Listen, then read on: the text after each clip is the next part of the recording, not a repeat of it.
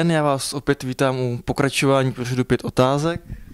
Hezký zimní den, stále ještě zima, ale snad už bude brzo jaro. A pojďme hnedka na první otázku. Eh, zelený ministr pan Kocáb chce zasáhnout proti špehování zaměstnanců, že by vlastně zaměstnavatele nemohli kontrolovat soukromou poštu svých zaměstnanců a podobně. Eh, nevnímáte to spíše jako trochu populistický krok před blížícími se volbami? Rozhodně ne jako populistický krok. Je to určitá strategie samozřejmě stihnout ještě do konce volebního období, co se stihnout dá. Tady já jsem eh, velice spokojen s prací pana ministra Kocába, který zaprvé eh, v tom svém období dokázal dotáhnout některé věci, které už nestačila paní ministrině Stehlíková. Některé se týkají i nás. Vím například, že do vlády půjde brzy první návrh adopcí. A na druhé straně jsem rád, že k tomu přidává ještě svoje další nápady. A tohle je jeden z nich, který si podporu rozhodně zaslouží. Ono to na první pohled samozřejmě vypadá, jako že na druhou stranu se zasahuje do práv zaměstnavatelů a firem a tak dál. Eh, ovšem, co je nejpodstatnější, jsou eh, lidská práva, eh, omezení zásahu do našeho soukromí a samozřejmě také zneužití takového sběru informací o druhých. Takže Chápu. Firmy potřebují mít kamery, aby sledovali případné zloděje. Eh, firmy se potřebují chránit eh, před nepoctivými zaměstnanci, kteří místo pracovní doby a pilné práci se věnují třeba erotickým stránkám na internetu a podobně, třeba gaynetu nebo nějakým jiným. Ale na druhou stranu to mohou udělat tak, že s tím seznámí toho zaměstnance. Tady jsou kamery, tohle budeme sledovat. Ten zaměstnanec to ví a proto podle toho také se chová. Hmm, nedávno jsem četl, že byla velká aféra právě, že eh, tajné kamery sledovali, kolikrát si zašli na cigaretu a dokonce nějaký šéf firmy si podle těch určitých eh, hodnotových měřítek dělal profil toho svého zaměstnance. Takže eh, ano, ta určitá míra sledovanosti, ovšem pro zaměstnance neskrytá, ano. Ale co se týká těch eh, skrytých, tak tady jsem zásadně proti na straně ministra Kocába, a já myslím, že ani nám všem ostatním do budoucna se nebude líbit, až každá ulice, každý dům bude mít skrytou kameru, až nám budou vidět do oken e, ti velcí bratři, jak se tomu říká, až bude policie vědět o každém našem kroku. To jsme zpátky v totalitě, kde každá ulice měla uliční výbor a tam její předsedkyně nebo předseda sledovali každého člověka, musel mít potvrzení do školy, že se choval slušně. Jo? Takže na to jsme už možná zapomněli a tomu se varujeme. Není nic většího než svoboda. Takže pokud to chápu správně, pokud by zaměstnanec byl seznámen s tím, že toto a toto, toto bude třeba, tak to bude kontrolován zaměstnavatelem, tak na tom nic špatného není, ale to, že by byl tajně sledován, v tom už problém vidíte.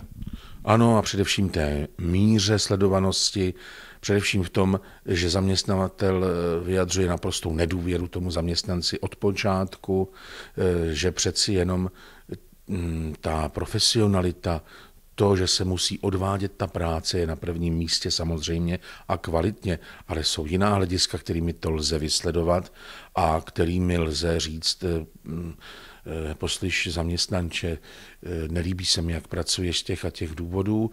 A on si to musí potom sám už říct, jestli zaměstnavatel dává prostor a čas zaměstnanci, aby místo práce měl dostatek prostoru se věnovat jiným věcem, pak je to trochu chyba toho nadřízeného. Že? A já jsem rád, že s tím zelení přicházejí a že zelení jsou to, kteří ještě se snaží právě dokončit tu svoji určitou vizi toho lidskoprávního státu a že akcentují lidská práva do konce tohoto volebního období, protože to já myslím, že je ten správný základ pro volby.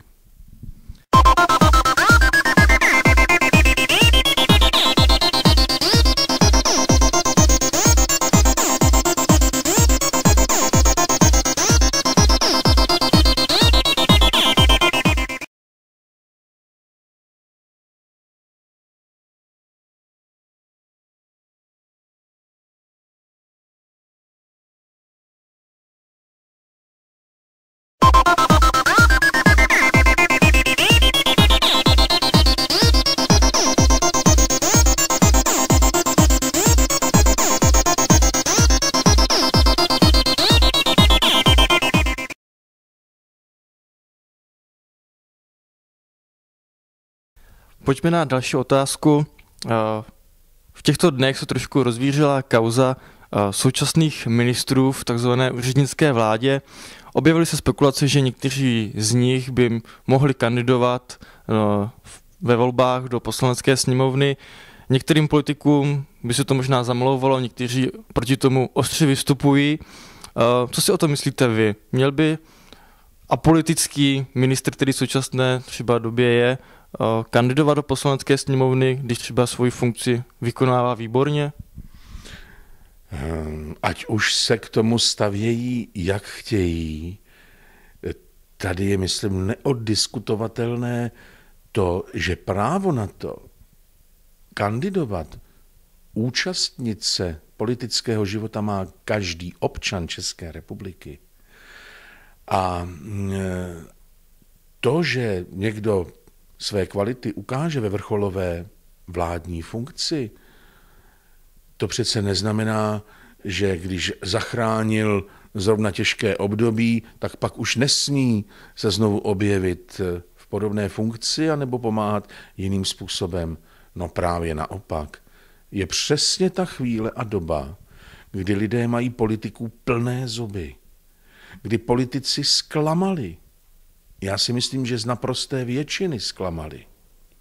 A lidé touží po nových tváří, po nových programech, po jasných cílech a jasně a zřetelně, prokazatelně ukázaných kvalitách určitých lidí, kteří budou schopni ty cíle nějakým způsobem dosáhnout zajímavými nápady, neotřelými e, cestami, a to se dnes prostě neděje. Jediný neotřelý nápad, který opravdu už zavání eh, tím nejhorším, čeho se můžeme dožít, je velká koalice. Tak když nám to nepůjde eh, rozděleně, no tak se spojíme, aby jsme zabránili malým stranám, právě těmto neutrálním lidem, kteří nejsou politiky, ale mají obrovské zkušenosti z praxe, ze spoda, od lidí, vědí, jak se žije, v detailech, jak se žije a co lidi potřebují v té politice, v těch programech prosadit. Takže já jsem rozhodně na straně všech těch nezávislých odborníků, skutečných odborníků ve svých e, profesích, kteří, jak je vidět, mohou klidně vládnout, vládnout úspěšně Jakmile už tam je nějaká, nějaký vliv strany, už se to zase eh, dostává eh, k možnosti zneužití a k principiálnímu využívání jenom té vize té jedné určité strany. Eh, neodpustím si, myslím si, že přesně to dělají zelení, kteří třeba teď ještě neuzavřeli ty své kandidátky a hledají opravdu zajímavé osobnosti právě z tohoto sektoru které by mohly obohatit jejich kandidátku, jejich program a které by mohly potom vstoupit do vysoké politiky a pomoci ho realizovat těmi svými zkušenostmi. Na jedné straně budou zelení se svým zeleným programem a na druhé straně ale jsou otevření té nové cestě, protože naše země v tuto chvíli potřebuje skutečně inovaci, potřebuje z gruntu vyhnat všechny ty nešvary, lobbysty, zloděje, tuneláře a potřebuje čestné lidi, kteří se opravdu budou věnovat své pozici, svému úkolu a tomu obětují ten určitý čas ve vrcholové funkci. Není to jednoduché. Já třeba vím, že paní ministrině Stehlíkovou po dvou letech e, sice odvolali z funkce, ale v podstatě prakticky na její žádost, protože byla naprosto vyčerpaná. Protože to prostě dva roky dělala opravdu ze všech svých sil každý den, každou hodinu. Takže já bych si jenom přál, aby ti úspěšní, eh, a ne apolitičtí, ale nečlenové stran, nezávislí eh, občané téhle země, aby v té vládě byli. Teďka jenom poprosím o ještě rychlou odpověď, takže podle vás si myslíte, že spíš je to jenom strach té současné politické garnitury, že by někdo třeba mohl ukázat, že je lepší, než jsou oni? Samozřejmě. Víte, co to je za boje dostat se do těch volitelných příček do sněmovny nebo být eh, kandidátem do Senátu, aby zas byl pokoj na 4-6 let, aby zas byl eh, člověku korita a pak už ať se děje, co se děje, ona to strana za mě nějak všechno rozhodne a vyřeší. Takže samozřejmě, že se obávají o to, že lidé by právě podpořili tyto, preferovali je kroužkama a oni by přeskočili na kandidátkách eh, jejich kandidáty, kteří by pokračovali v tom té staré politice, která naší zemi nepomůže.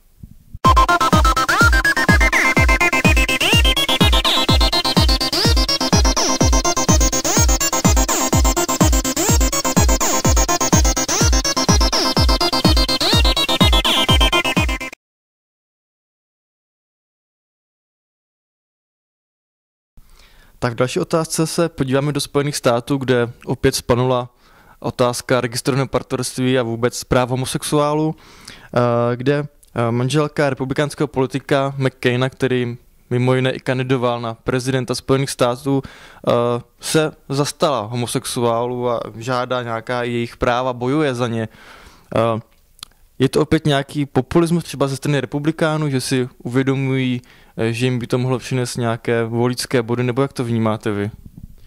McCain vůbec nebyl nesympatický eh, kandidát, jeden eh, z mála za poslední dobu a byl to, myslím, gentlemanský souboj mezi ním a panem Obamou, kterému prezidentskou funkci velmi přeji a držím mu palce.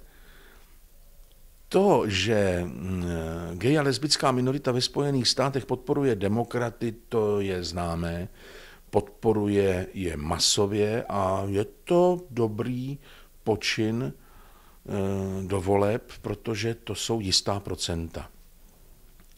Eh, samozřejmě, že naše minorita vždycky podpoří ty lidskoprávní momenty a především ty politiky, kteří opravdu vážně se zabývají naším životem a našimi potřebami. A ve Spojených státech na jednu stranu jsou státy, ve kterých e, máme tu podporu, a na druhé straně takové, kde je třeba lepší utéci z, toho, z té země, protože ten konzervatismus tam panuje brutálně. Co se týká paní McCainové, e, to já samozřejmě vítám, že se takhle rozhodla veřejně vystoupit.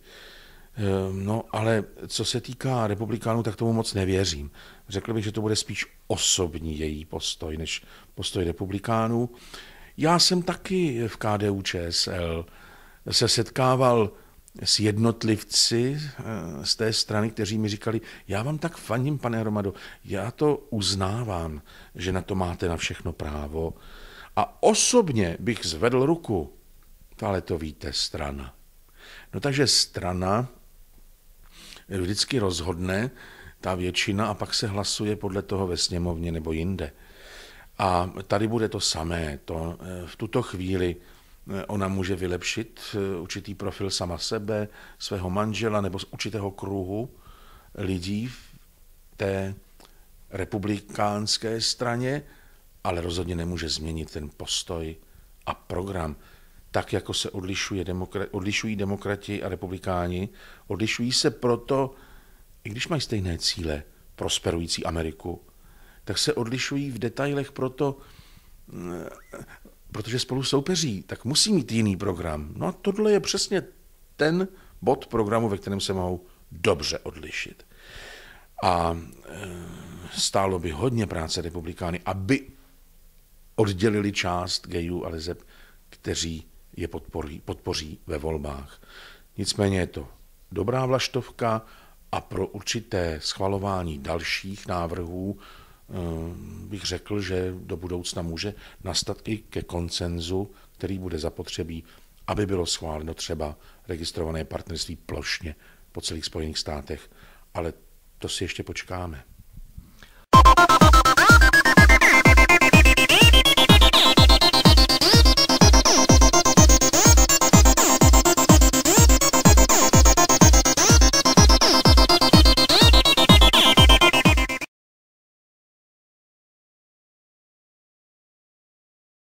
Tak vy jste v této otázce už zmínil lehce uh, KDU ČSL. O té se bude do jisté míry týkat i čtvrtá otázka. Já jsem ji nazval kauza Schwarzenberg, protože pan bývalý ministr zahraničí se o této straně vyslovil v tom směru, že to jsou černoprdelníci. Uh, nebudeme se nalhávat, uh, spousta lidí o nich tak mluví. Uh, teď jde o to, jestli uh, je to ještě etické, morální, nebo jak bychom to nazvali. Uh, jak to vnímáte vy? Já respektuji eh, to, že každý takový název, každé označení eh, je potřeba, aby vysvětlila nebo aby k němu zareagovala ta strana nebo ta část, eh, která je tím dotčena, která se cítí být nějakým způsobem poškozena.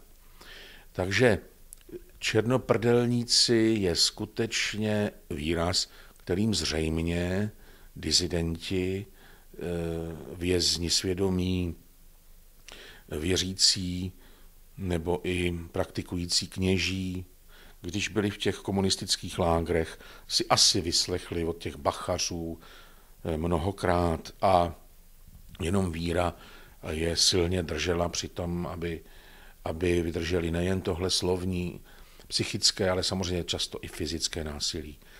Tady já respektuju to, že mm, je potřeba odsoudit celou tu dobu, celé to období, i způsob chování. Malinko, eh, ovšem člověk musí vzít v úvahu jednu věc. V té době měla církev velkou prestiž. A lidé na venkově, lidé ve městech, kteří konvenovali s těmi dizidentskými ideály, s tou touhou po změně, zrušení totalitního systému, jim fandili. Věděli, že jsou neprávem ponižováni, persekuováni. Eh, vzpomeňme si na čihožský zázrak, na eh, ubíjení farářů k smrti, na jejich velké pronásledování, nucení ke kolaboraci a podobně. Takže to nebyla lehká doba a všichni měli eh, katolickou církev a ostatní církev v naší zemi, které pracovali v podzemí, eh, ve velké vážnosti.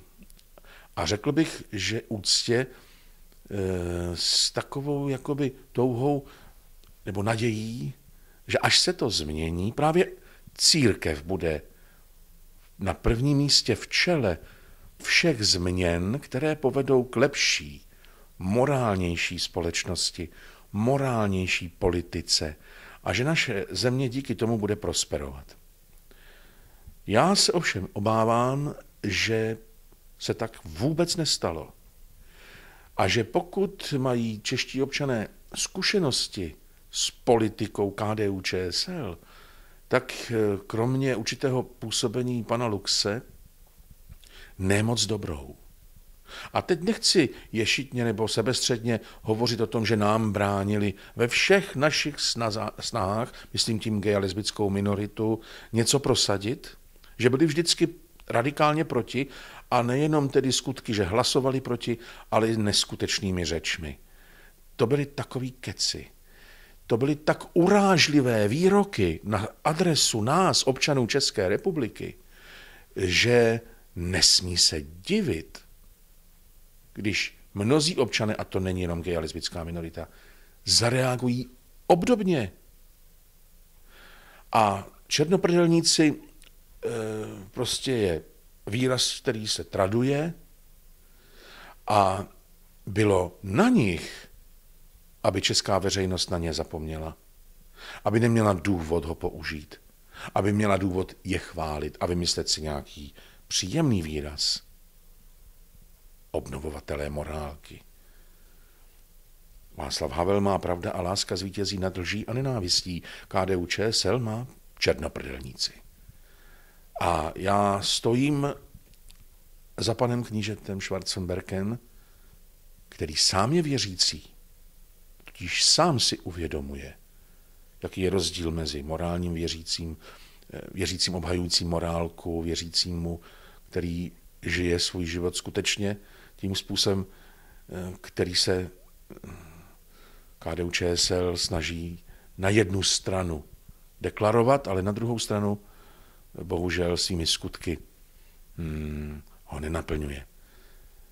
Takže jediné, co je, že protesty nepomohou, pomůže dobrý příklad, dobrá inspirující politika a pak se jistě i tohle názvosloví změní.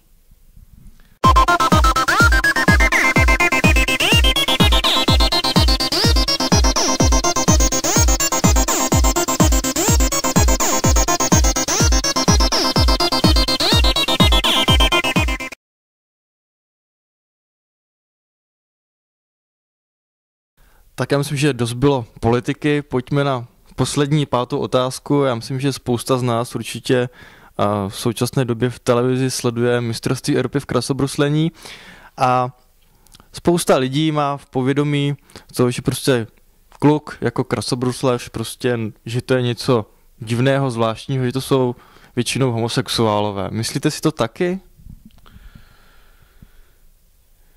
Člověk samozřejmě mm, je definován především tím, co umí, co ho baví, v čem se realizuje, případně v čem prospívá společnosti.